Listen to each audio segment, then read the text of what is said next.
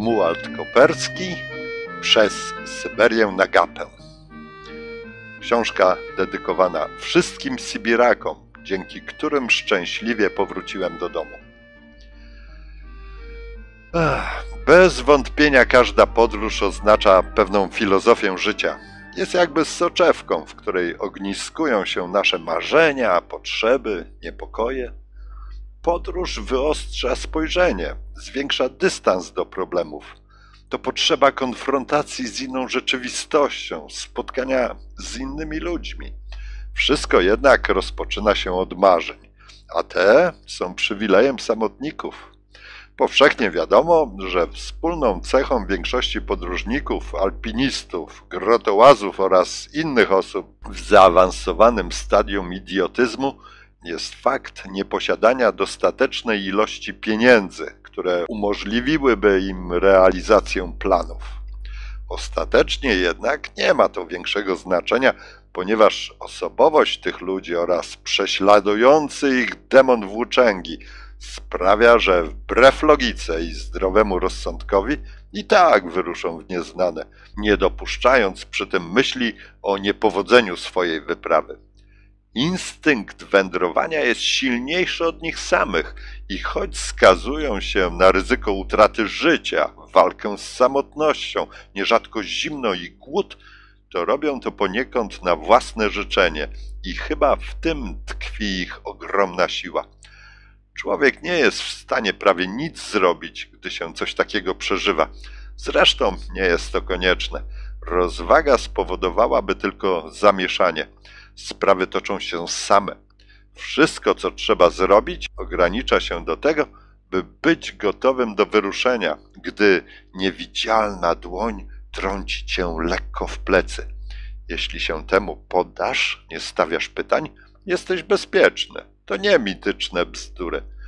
Później dniami, tygodniami, a nawet miesiącami człowiek się męczy, brnie niestrudzenie do przodu, potem dochodzi do celu, jest miasto albo wieś, znów są ludzie, a w nim wszystko, czego człowiek pragnął. Po chwili okazuje się to wszystko śmieszne. Okazuje się, że bez tego można żyć doskonale, a potem znów się idzie do przodu. Eskapady takie są w pewnym sensie również ratunkiem dla ludzi dostatecznie już zniechęconych do życia, sięgających po alkohol, papierosy, tabletki, pieniądze czy religię. Pozwalają bowiem zagłuszyć dręczące ich poczucie beznadziejności istnienia. Podróże są porównywalne do działania narkotyku, aczkolwiek pozbawione jakichkolwiek niepożądanych skutków ubocznych chronią wiele osób przed obłędem i zaoszczędzają tym samym światu wiele niepotrzebnych zmartwień. Początek mojej pasji był wręcz schematyczny. Pobudzająca wyobraźnię młodzieżowa literatura, w szczególności powieści Jacka Londona, Vagabundy, okropnego ponoć pijaka. Opisy przyrody, awanturnicze charaktery bohaterów sprawiły, że byłem jednym z nich. Oczami chłopięcej wyobraźni przemierzałem tysiące kilometrów pustkowia, budowałem w głuszy szałasy, polowałem, walczyłem o życie. Fantazja poniosła mnie do tego stopnia, że taskając na plecach uczniowski tornister, wyobrażałem sobie, że niosę traperski plecak. Nie zdawałem sobie wtedy sprawy, że na osobowość moją padło nasionko którego mechanizm wewnętrzny sprawił, że dopiero wiele lat później zakiełkowało, wyrosło i wydało owoc. Owocem tym stała się Syberia, którą przed laty przemierzyłem całą od granicy fińskiej po cieśninę Beringa, gdzie do Alaski tylko krok. Dlaczego Syberia? Krainą tą zainteresowałem się bez mała 30 lat temu. Ziemia ta, nie ciesząca się dobrą sławą, opluwana przez ludzi, przeklęta przez pokolenia zesłańców, bardzo mnie intrygowała. Pewnie dlatego, że była ogromna, a jej przyroda podobna była do miejsc młodzieńczej literatury. Wyimaginowanym obrazem starałem się zobaczyć jej dzikość i niekończące się przestrzenie. Syberia jednak przez długie lata była zamknięta i niedostępna dla ludzi z zewnątrz. Długo więc musiałem czekać na spełnienie chłopięcych mrzonek, ponieważ dopiero 7 lat temu zobaczyłem ją pierwszy raz na jawie.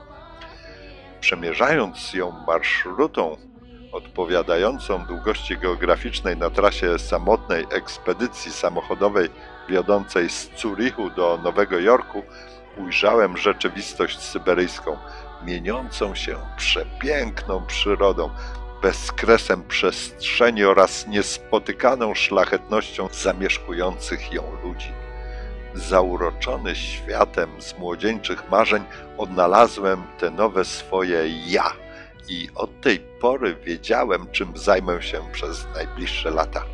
Poczułem się bowiem w pewnym sensie odpowiedzialny za sprawy, które w dzisiejszych czasach prawie nikogo już nie obchodzą. Opuszczając tą ziemię, wiedziałem, że do niej powrócę, aby uzupełnić opowieść o tej krainie, a przede wszystkim o ludziach ją zamieszkujących, o ich przemożnym pragnieniu przetrwania, poszukiwaniu szczęścia, miłości, znalezienia sobie miejsca na ziemi. Wiosną 1988 roku zaplanowałem ponownie Syberię. Tym razem postanowiłem zobaczyć jej piękną marszrutą wiodącą po szerokości geograficznej. Nie będąc do końca pewny swojej kondycji finansowej, wybrałem najtańszą możliwość. Arterią będzie Lena, a środkiem transportu gumowy ponton. Przygotowania do wyprawy rozpocząłem od rzeczy najważniejszej, czyli środka transportu. W tym celu udałem się do grudziąckiego Stomilu, a konkretnie do pewnej spółki, która zajmowała się produkcją gumowego sprzętu pływającego. Prezes firmy, pan Janusz Radke, wysłuchał mnie z pełną zainteresowania życzliwością, jaką zazwyczaj się poświęca mówiącym idiotom, reklamie pasty do zębów i innym dziwnym zjawiskom nie z tej ziemi. Początkowo też odniósł się do moich planów sceptycznie. Przywykłem do tego, że ludzie moje pomysły przyjmują negatywnie, więc dramat niezrozumienia przeżyłem z godnością. Jednak kiedy po półgodzinnej rozmowie prezes zaprosił mnie do hali produkcyjnej, podświadomie wiedziałem, że łódkę otrzymam. I tak się stało. Najważniejszą więc sprawę uważałem za załatwioną. Kolejnym etapem przygotowań było zbieranie materiałów dotyczących rzeki. Lena jest największą wschodniosyberyjską rzeką, której długość wynosi około 4450 km. Pewny więc bogatej literatury na jej temat, radośnie w podskokach pobiegłem do jednej z większych bibliotek. Optymizm mój jednak bardzo szybko przygasł. Okazało się bowiem, że oprócz paru pozycji o Syberii, w której wymienia się nazwę rzeki, nic konkretnego na jej temat nie ma. Udałem się więc do znajomych geografów, pracowników Polskiej Akademii Nauk w Toruniu. Tu dowiedziałem się, że z wyjątkiem banalnej charakterystyki omawiającej rzekę i jej dorzecza, również niczego, co byłoby mi przydatne, nie ma. Otrzymałem wprawdzie najnowszą, bo wydaną w 1995 roku, 500-stronnicową pracę naukową dotyczącą Leny, ale była to rozprawa czysto naukowa, pełna różnych niezrozumiałych przeze mnie tabel i zestawień, a w dodatku w języku rosyjskim.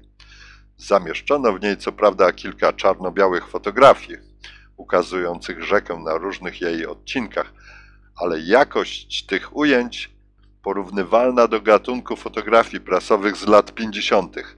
Tak zimno i szaro przedstawiała krajobraz, że wręcz zniechęcała do odwiedzania tego zakątka świata. Przyznam się szczerze, że powyższe fakty, zamiast mnie odciągnąć od zamiaru, podnosiły mnie wręcz na duchu.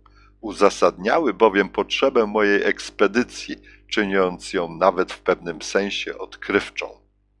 Tydzień przed rozpoczęciem wyprawy głowę moją zaprzątał problem związany z wymianą pieniędzy w Rosji. Obowiązywały bowiem w tym kraju środki płatnicze starej i nowej emisji. Obawiałem się, czy w miarę szybko będę je rozpoznawał na tyle, by nie popaść ofiarą oszustwa. Dwa dni przed wyznaczoną datą wyjazdu obawa moja nie była już tak silna, ponieważ wiedziałem już, że moje zasoby finansowe będą więcej niż skromne, wystarczające zaledwie na kupno chleba. Prysnął bowiem czar i marzenia o sponsorze, gdy się okazało, że nie odnosi się na tym polu sukcesów bez odpowiednich znajomości, a aby takowe mieć, należy albo ludzi żywić, albo ich bawić, albo szokować. Mnie z trudnością udaje się wyżywić rodzinę. Jako hedonista bawić się i owszem lubię, a spowodować szok udało mi się tylko parę razy i to na osobie mojej zacnej żony. Trzy dni później, będąc już na pokładzie rosyjskiego samolotu lecącego z Moskwy do Irkucka, żadnych obaw związanych ze sprawą już nie miałem. Nie posiadałem bowiem ani jednego rubla, ani też żadnej waluty uważanej w tym kraju za wymienialną. Byłem całkowicie bez pieniędzy, do powyższego faktu przyczynił się bezpośrednio ciężar mojego bagażu, jak i przepis obowiązujący na rosyjskich liniach lotniczych, mówiący o tym, że sztuka bagażu pasażera nie może przekraczać 35 kg. Ponton mój ważył ponad 70. Stanowczo więc oświadczono mi, że łódka moja nie poleci. Trudno, takie są przepisy motywował rosyjski urzędnik, robiąc przy tym minę człowieka, który zdawałoby się do połysku ma wyczyszczone sumienie. Jednakże twarz tego człowieka niezwykle wyraźnie świadczyła o charakterze i trybie jego dotychczasowego życia.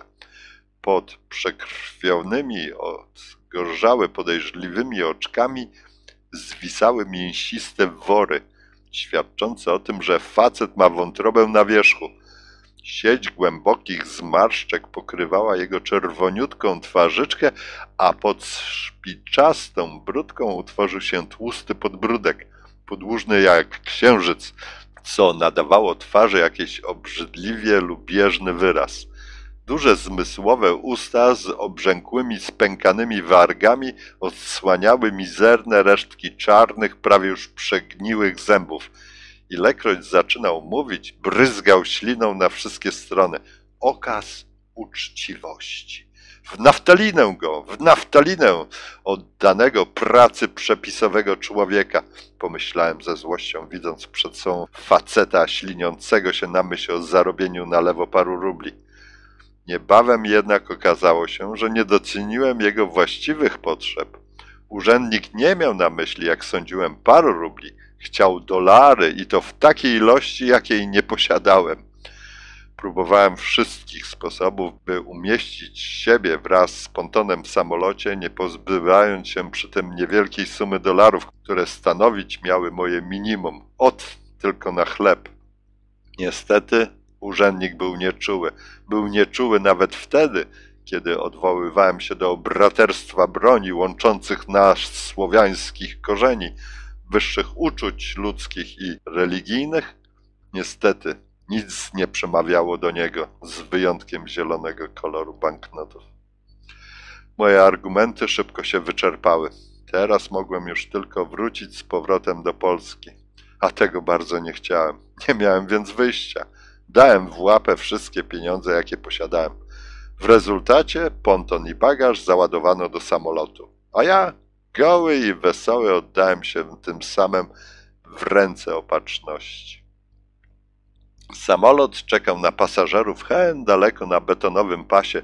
Szliśmy grzecznie gęsiego, starając się nie hałasować, nie tłoczyć, a dookoła na prawo, lewo śpiewały odrzutowe silniki wesoło, zadzierżyście, pełną dyszą śpiewały o dalekich, nieznanych krajach, o tej niepowtarzalnej radości, jaką człowiek przeżywa zawsze wtedy, gdy stoi na początku dalekiej drogi u progu wielkiej, trudnej sprawy. Wciąż uroczyście, nie śpiesząc się, nie czyniąc hałasu, wstępujemy po chwiejnych, aluminiowych schodach do wnętrza samolotu. Pół godziny później startujemy. Po chwili olbrzymia Moskwa znika mi z oczu. Srebrzysty okręt powietrzny płynie i płynie naprzód i wciąż nie może przelecieć przez ogromną Rosję. Przyjemnie jest z okien samolotu spoglądać na tę ogromną ziemię. Jakże zdumiewająco jest wielka i malownicza. Czego też na niej nie ma, są małe wioski, wielkie miasta, są gęste lasy i gładkie równiny, modre jeziora i żółtawe piaski, lodowate tundry oraz gorące pustynie. Błysnęła i znikła pod skrzydłami błękitna odnoga wołgi. Piaszczyste przestrzenie Powąża ustąpiły miejsca lesistym okolicom przeduralskim. Jak srebrzysty wąż przepełzała dołem Karna, a po jej powierzchni rozciągały się długie trawy, wyglądające jak zapałki wysypane przez psotne dzieci. Wreszcie Syberia, w tyle pozostał zadymiony Ural. Można rzec, że z Europy wydostałem się niepostrzeżenie, ale Syberia od razu dała sobie znać swym rozmiarem i skalą. Nagle w dole dostrzegłem olbrzymi szmat zaoranej ziemi, nieskażony ani jedną miedzą, ani poprzecznym rowem. Takie kompleksy trudno znaleźć w Europie, pociętej znacznie mniejszymi szachownicami pól. To, co ujrzałem, było kawałkiem zaoranej ziemi wielkości około 50 tysięcy hektarów. Mógł on należeć do jakiegoś kołchozu lub sołchozu. Nie jest tą Rosją aż tak źle, skoro się jeszcze aż tyle uprawia ziemi, pomyślałem. Jednak im dalej na wschód, tym mniej zaoranej ziemi, więcej widocznego jeszcze śniegu. Po półgodzinnym locie widać już tylko tajgę, zamarznięte jeziora i rzeki. Zima trzyma jeszcze Syberię w swych okowach. Syberia z lotu ptaka wywiera na człowieka szczególne, podniosłe wrażenie. Bezmiar tajgi, wabiące przestrzenie. Syberia olbrzymia i potężna, urzeka. Syberia bierze wiasyr. Patrzę w dół i nadziwić się nie mogę, że przed czterema laty przemierzałem ją samochodem. Jakże w tym momencie wydawało mi się to nierealne. Robi się ciemno, samolot płynie na wschód, na spotkanie z nocą. Jedni pasażerowie drzemią, inni spoglądają przez iluminatory na gasnącą z każdą chwilą ziemię. Irkuc przywitał mnie mrokiem i deszczem. Współpasażerów, przeważnie oczekiwanych przez bliskich, szybko pochłonęło spowite w ciemności nocy miasto. Nim się spostrzegłem, zostałem sam, z bagażem, którego w pojedynkę nie sposób było przenieść. Nie miałem nawet kopiejki na telefon. A i tak zresztą nie miałem gdzie zadzwonić. Był maj.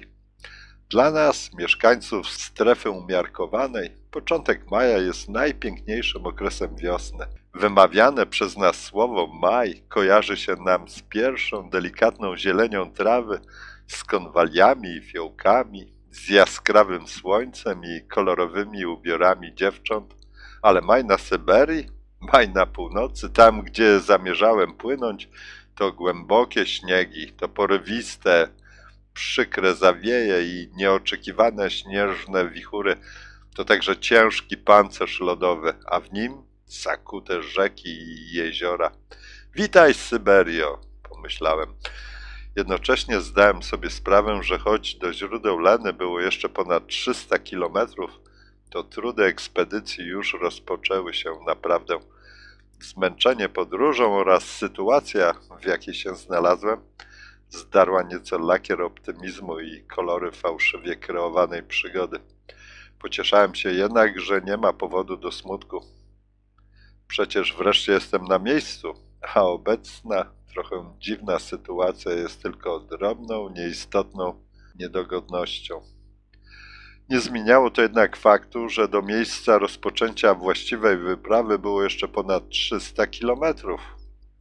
Lena bierze swój początek na zachodnim skłonie gór bajkalskich, na wysokości 930 metrów nad poziomem morza i zaledwie 7 kilometrów od zachodniego brzegu jeziora Bajkał uchodzi do morza Łaptiejew, będącego częścią Morza Arktycznego, a jednocześnie należącego do zlewiska Oceanu Atlantyckiego. Z Irkucka do źródeł można dostać się w dwojaki sposób. Wynajętym helikopterem, co jest bardzo szybkie i wygodne, hm, lecz niestety kosztowne, lub łodzią, którą należy płynąć wzdłuż północnego brzegu jeziora. Stało się oczywiste, że w mojej sytuacji wchodziła w rachubę tylko ta druga możliwość, a i ta wyglądała dość mglisto, gdyż nie posiadałem nawet drobnych funduszy. Miałem co prawda znajomych mieszkających w Listwience, uroczej miejscowości nad Bajkałem, na których pomoc od początku liczyłem. Na razie była noc, a ja głodny, bez grosza przy duszy, koczowałem na lotnisku. Nie wszyscy ludzie wierzą w cuda, ale każdy człowiek przynajmniej raz w życiu spotkał się ze zbawczymi sytuacjami, które trudno wytłumaczyć, a w które jeszcze trudniej uwierzyć. Jedni nazywają to szczęściem, inni opieką boską. Zwą jak zwą. Rzeczy takie mają miejsce i nie tylko w kadrach kiepskich filmów amerykańskich.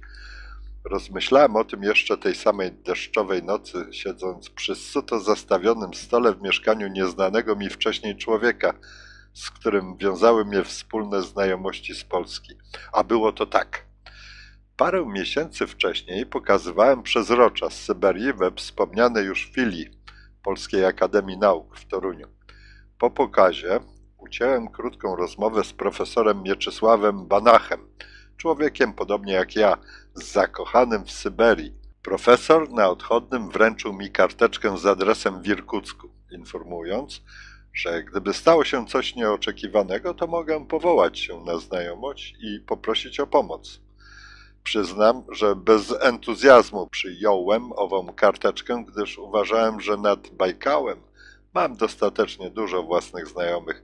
Niemniej kartkę z adresem wziąłem, gdyż tak po prostu wypadało. Włożyłem ją luźno do kieszeni spodni. O sprawie też natychmiast zapomniałem. Jakiś czas później przypadkowo odnalazłem w kieszeni ów zapisek i początkowo miałem nawet zamiar go wyrzucić, ale nie wiem dlaczego nie uczyniłem tego. Znoszony w kieszeni, pognieciony, nieczytelny już prawie świstek położyłem wśród innych nieistotnych drobiazgów na biurku.